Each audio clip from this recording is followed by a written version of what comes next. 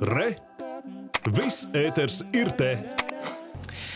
Vairāki Eiropas Savienības sankcijām pakļautie uzņēmumi saistīti ar bīstamu vielu pārkraušanu un uzglabāšanu gan Rīgas, gan Ventspils ostā.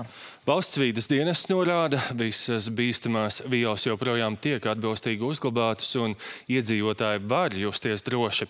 Dienests termināļus sola pārbaudīt arī klātienē, un par to plašāk Zandozola balode.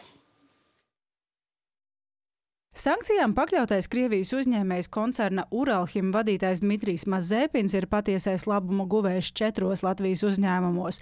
Divi no uzņēmumiem ir termināļi Rīgā un Ventspilī, kas saistīti ar bīstamu vielu uzglabāšanu un pārkraušanu.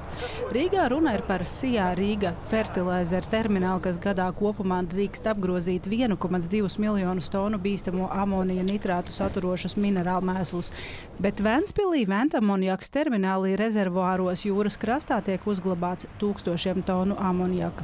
Par drošību Rīgā Kunziņa salāsijā Rīga fertilēzera termināla Rīgas brīvostas pārvalde norāda, ka šobrīd viss tiek ievērots. Mūsu puses sekojam līdzi, lai viss funkcionētu, viss strādātu. Tas attiecās uz šī te termināla kā šai ziņā es varu visu pilnīgi, pilnīgi un absolūti nomierināt. Tad, tad no drošības viedokļa tur viss ir kārtībā. Gan osta, gan sankcijām pakļautais uzņēmums esot vērsies pie visām valsts atbildīgajām drošības iestādēm, lai gūtu skaidrību par maksājumiem. Tajā skaitā par ūdeni, kanalizāciju, elektrību un apsardzi. Pat ja uzņēmums saimniecisko darbību neveic, viss jāuztur un par pakalpojumiem jānorēķinās. Un tieši jautājumi par maksājumiem uzsvērti īsā rakstiskā atbildē no Ventspils brīvostas pārvaldes.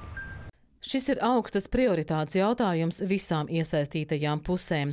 Protams, brīvos pārvaldei nav tiesība nekādi ietekmēt sankciju režīmu, bet kompetentajām iestādēm ir tiesības piemērot izņēmumus un atļaut norēķinus pamatvajadzību nodrošināšanai. Īpaši, ja tas ir sabiedrības drošības interesēs. Tāpēc mums nav šaubu, ka norēķinu jautājums tiks atrisināts. Šobrīd tiek ievērotas visas prasības bīstamo kravu drošai uzglabāšanai, un tā būs arī turpmāk. Valsts vides dienests norāda, sankcijām pakļautie uzņēmumi uz valsts vides dienesta jautājumiem ir atbildējuši, apliecinot, ka drošības prasības turpina ievērot.